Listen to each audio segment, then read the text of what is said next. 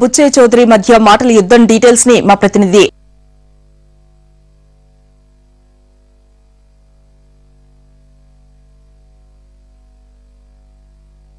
నుంచి రోజా కూడా ఇటు స్పీకర్కి ఫిర్యాదు చేద్దామని చెప్పేసి డిసైడ్ అయినట్టుగా తెలుస్తోంది. ఫిర్యాదు చేశారా? ఇప్పుడున్న అప్డేట్స్ ఏంటి?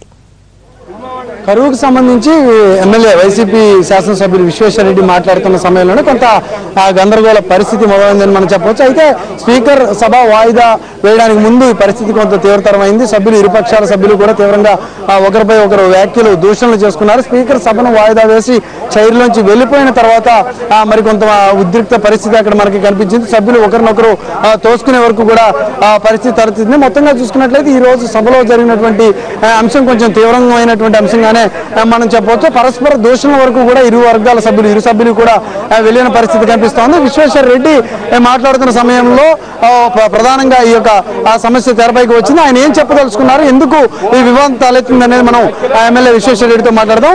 మీరు ఏ అంశంపై మాట్లాడుతున్నప్పుడు ఈ యొక్క వివాదం తలెత్తింది?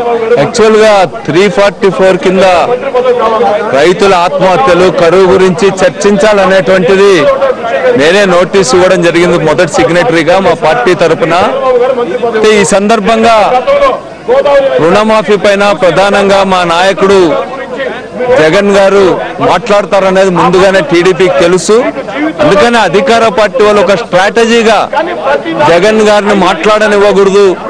జగన్ గారు మాట్లాడితే మొత్తం ఈ బ్యాంక్ రుణాలకు సంబంధించినటువంటి లోపాలన్నీ కూడా బయటపడతాయనేటువంటి భయంతో ఆయన పైన వ్యక్తిగతమైన దాడి చేయాలా? ఆయన పైన వ్యక్తిగతంగా దూషించాలనేటువంటి ఒక వ్యూహంతోనే వాళ్ళు శాసనసభకి ఈ రోజు రావడం ప్రతిపక్ష. నేత సుదీర్ఘంగా ప్రసంగించారని స్పీకర్ చెప్పారు. మీ మధ్య వ్యక్తిగతంగా దూషణలు రావడానికి కారణం ఏంటి? వ్యక్తిగత దూషణలు రావడానికి యాక్చువల్గా కరువు గురించి చర్చ చేయాల. నేను యాక్చువల్గా నోటీస్ ఇచ్చిన నేను ప్రధానంగా ఈ రాష్ట్రంలో ఉన్న కరువు గురించి ఆత్మహత్యల గురించి అదేవిధంగా రాష్ట్రంలో ఇంత కరువులో కూడా రైతాంగం కష్టపడి పంటలు పండించినారు. ఈరోజు కాటన్కు ధర లేదు. అదేవిధంగా వరి పంటకు సంబంధించిన పంటకు ధర లేదు. కనీసం ఎంఎస్పిని అమలు చేయాలనేటువంటి ఆలోచనలో కూడా ప్రభుత్వం లేదు. ఈరోజు వేరుశనగ మొక్కజొన్న అన్నింటిలో అదే విధానం ఉంది కాబట్టి దానిపైన చర్చ జరపాలన్నాం. అయితే ఈ చర్చ ఇష్టం లేదు కాబట్టి డైవర్ట్ చేసి నా నుండి కట్ చేసి గోరంట్ల బుచ్చయ్య చౌదరి గారికి ఇవ్వడం జరిగింది. బుచ్చయ్య చౌదరి గారు సీనియర్ ఐదవసారి శాసనసభ్యులుగా ఉన్నారు. వారు రైతాంగ సమస్యలు ప్రస్తావించాలా? వాళ్ళ జిల్లాల్లో రైతులకు వరికి కనీస మద్దతు ధర అందకపోవడం ఇవన్నీ కూడా చర్చించాలి? కానీ దురదృష్టవశాత్తు మరి రా- కళాకారులు నిందించేటువంటి పద్ధతుల్లో మహిళా శాసనసభ్యుల పట్ల విలన్స్ అని మహిళా శాసనసభ్యుల పట్ల రోజా గారి పట్ల వ్యక్తిగతంగా దాడి చేయడం అనేటువంటిది విమర్శ చేయడం అనేటువంటిదే ఈరోజు దీనికంతా కూడా దారి తీసింది. వాళ్ళు ప్రారంభం నుంచి ఇదే స్ట్రాటజీతో ఉన్నారు. చివరికి మహిళా శాసనసభ్యుల మీద కూడా వ్యక్తిగతంగా దూషించి సభను ఇరు జరగని వర్గాలు దూషించుకున్నాయి. వ్యక్తిగత దూషణలకు దిగారని అక్కడున్న సీన్ చూస్తే అర్థమవుతోంది. ఒకరిపై ఒకరు తోసుకునేంత వరకు కూడా ఆ పరిస్థితి అక్కడ కనిపిస్తోంది. ఇంత తీవ్ర స్థాయిలో సభ్యులు వ్యక్తిగతంగా మూవ్ అవ్వడానికి వ్యక్తిగతంగా విమర్శలు చేసుకోవడానికి కారణం ఏంటి అంటే వ్యక్తిగతంగా మా రోజా గారు అయితే విమర్శ చేయలేదు. మేము త్రీ ఫార్టీ ఫోర్ కింద మేము రైతు సమస్యల పైన ప్రస్తావించాలా అని చెప్పి మా మేము కోరుకున్నప్పుడు దాదాపు ఐదు రోజుల శాసనసభ సమావేశం జరిగితే ఈ రోజు రైతు సమస్యలను రైతుల పట్ల ఏదైతే మీరు వ్యవహరిస్తున్నారో ఈ రోజు రైతన్నలకు మేము చూసాం మీరు కొత్త పళ్ళకి ఎత్తుకున్నారు. రైతు ఉపశమనం అని చెప్పి. గతంలో గోడరాతలు ఏం రాశారు? రైతు రుణమాఫీ అన్నారు. మధ్యలో రైతు విముక్తి అన్నారు. ఈ రోజు రైతు ఉపశమనం అన్నారు. మేము ఒకటే అడగదలిచాం. ఈ రోజు రైతులు రాష్ట్రం ఎదుర్కొన్న ప్రధానమైన ఏ సమస్య ఉందో ఆ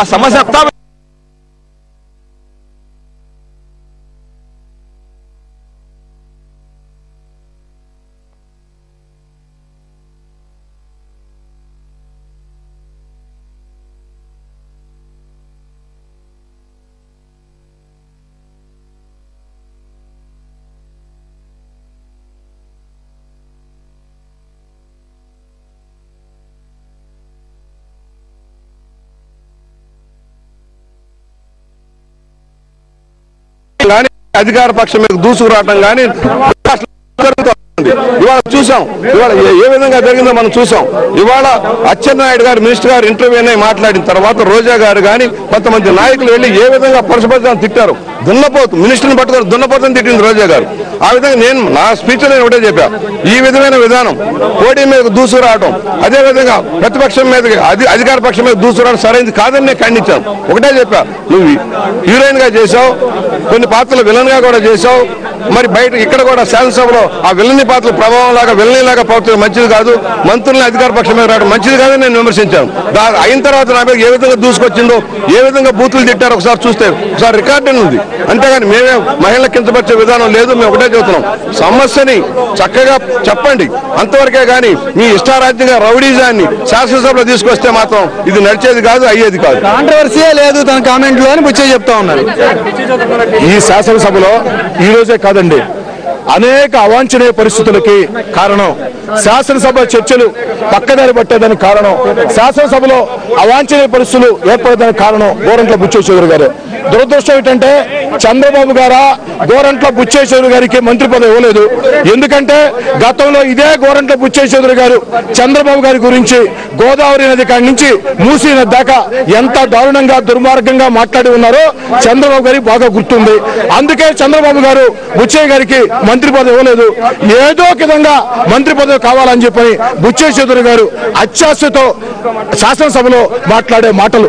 చంద్రబాబు గారి మెహర్బానీ కోసం బుచ్చే చౌదరి గారు అసెంబ్లీలో మాట్లాడే మాటలు అనేక అవాంఛనీయ పరిస్థితి కారణమవుతున్నాయి. కాబట్టి ఈ రోజు జరిగినటువంటి ప్రతి అవాంఛనీయ సంఘటనకి బుచ్చే చౌదరి గారి వ్యాఖ్యల కారణం చంద్రబాబు గారి ప్రోత్బలంతో ఎందుకంటే ఈ రోజు శాసనసభలో జగన్మోహన్ రెడ్డి గారి ప్రసంగం అద్భుతం మహోద్భుతం. ఈ రాష్ట్ర ప్రభుత్వం రైతు రుణవిముక్తి పేరుతో రైతులను ఏ విధంగా దగా చేస్తుంది గణాంకాలు గణాంకాలతో సహా జగన్మోహన్ రెడ్డి అసెంబ్లీలో చెబుతుంటే అధికారం పక్షం వైపు నుంచి సమాధానం చెప్పేదానికి కూడా జవాబు దొరక్క ఏదో ఒక రకంగా సభని పక్కదారి పట్టించాలని చెప్పని ఏదో ఒక రకంగా జగన్మోహన్ రెడ్డి గారి ఉపన్యాసానికి ప్రాధాన్యత లేకుండా చేయాలని చంద్రబాబు గారి డైరెక్షన్లో పన్నిన కుయక్తులో భాగంగానే ఈ రోజు ఈ రాష్ట్ర శాసనసభ్యులు తెలుగుదేశం పార్టీ మంత్రులు శాసనసభ్యులు చంద్రబాబు గారి డైరెక్షన్లో ఆడినటువంటి దుర్మార్గపు నాటకం. ఇలాంటి నాటకాలు ఎన్ని నాటకాలు ఆడినా వైఎస్ఆర్ కాంగ్రెస్ పార్టీ ఈ రాష్ట్రంలో ప్రజా సమస్యల్ని జగన్మోహన్ రెడ్డి గారి నేతృత్వంలో ముందుకు తీసుకెళ్తుంది. అంటే ప్రజా సమస్యలపై మాట్లాడడానికి మాకు ఎటువంటి అభ్యంతరం లేదు. కానీ వాటిని ప్రస్తావించలేకే ప్రతిపక్షం వ్యక్తిగతంగా దూషణ చేస్తా ఉంది. నిండు సభలో నిందలు వేస్తా ఉంది. ఇంకా చెప్పాలంటే చాలా హీనమైనటువంటి వ్యాఖ్యలు ఉపయోగిస్తుంది అనేది బుచ్చే చౌదరి గారు కానీ వాళ్ళ మాటలు కానీ బుచ్చయ్య చౌదరి గారు ఏం మాట్లాడారో మా వాళ్ళు ఏం మాట్లాడారో శాసనసభ రికార్డులు పరిశీలించండి.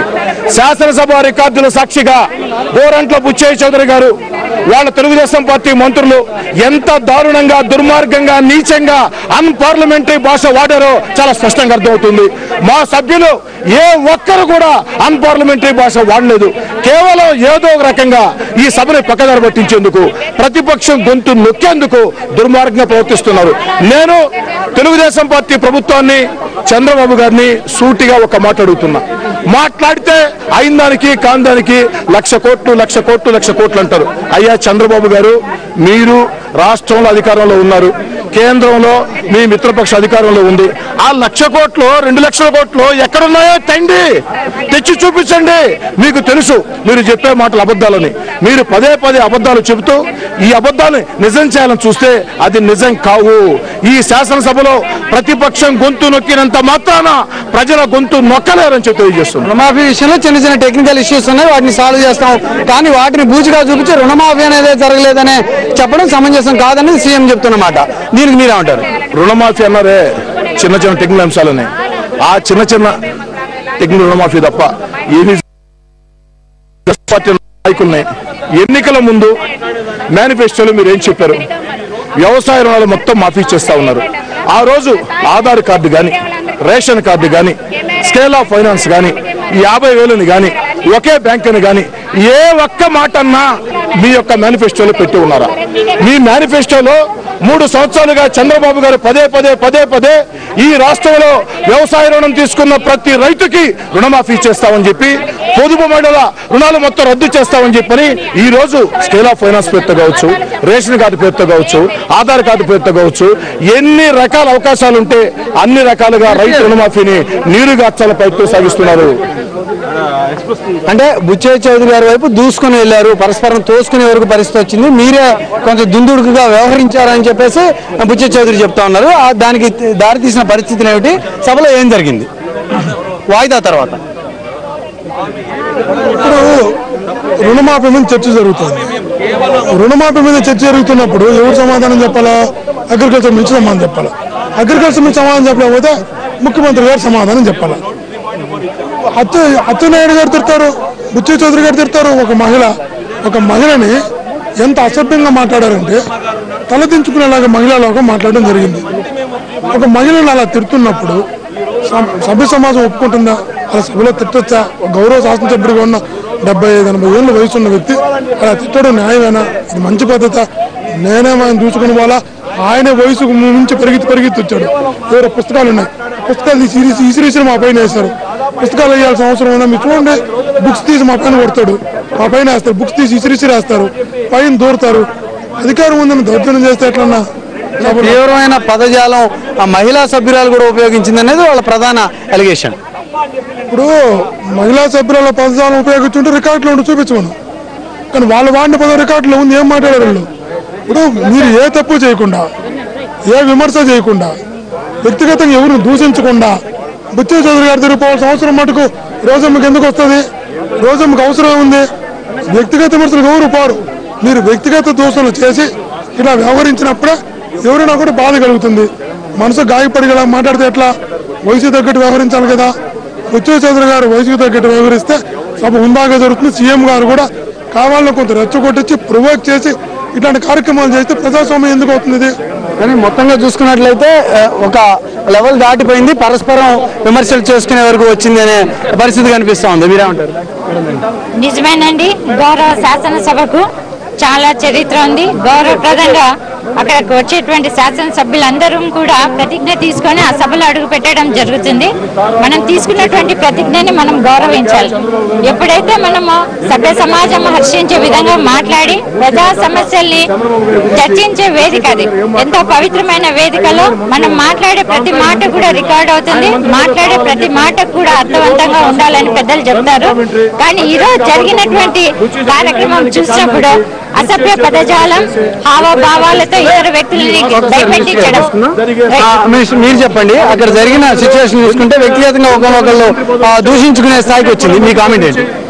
దీనికి అంతటికి కారణం ఏంటంటేనండి ఒక సబ్జెక్ట్ మీద అవగాహన లేక ఒక అవగాహన రాహిత్యం ఉన్నటువంటి ప్రతిపక్ష నాయకుడు వాళ్ళ సభ్యులు ఉండటం మనం చాలా దురదృష్టకరం అండి ఈ అసెంబ్లీలో. ఎందుకంటే ఒక ప్రతిపక్ష హోదా రావటం కూడా ఒక ఒక రకమైన అదృష్టం. ఎందుకంటే ప్రజా సమస్యల పట్ల పోరాటం చేయడానికి అవకాశం ఉంటుంది. ప్రజల సమస్యలు పరిష్కరించడానికి అవకాశం ఉంటుంది. కానీ దాని మీద వీళ్ళు ఏది దృష్టి పెట్టలేదు. బయట ఎలా ఫ్యాక్షనిజం చేస్తున్నామో లోపల అలాగే ఫ్యాక్షనిజం చేసేద్దామన్న ఉద్దేశంతో ఏకైక లక్ష్యంగా వాళ్ళు పనిచేస్తున్నారు తప్ప ప్రజా సమస్యల్ని నిజంగా పరిష్కరిద్దామనే ఆలోచన ఏ కోసాన ప్రతిపక్ష నాయకుడికి వాళ్ళ సభ్యులకి లేదు. ముఖ్యంగా రోజా గారు కనుక చూస్తే కనుక ఆమె వ్యవహార శైలి భాష కనుక చూస్తే నిజంగా సంస్కృతి సాంప్రదాయాలను పక్కన పెట్టి నిజంగా మహిళలందరూ కూడా తల దించుకునేలాగా సిగ్గుపడేలాగా వ్యవహరిస్తున్నారు. మీరు అసెంబ్లీలో ఉన్నటువంటి అన్ని కెమెరాలు పరిశీలించండి. ఆమె యొక్క వ్యవహార శైలి మీకు అర్థమవుతుంది. అచ్చెన్నాయుడు గారు మాట్లాడినారు.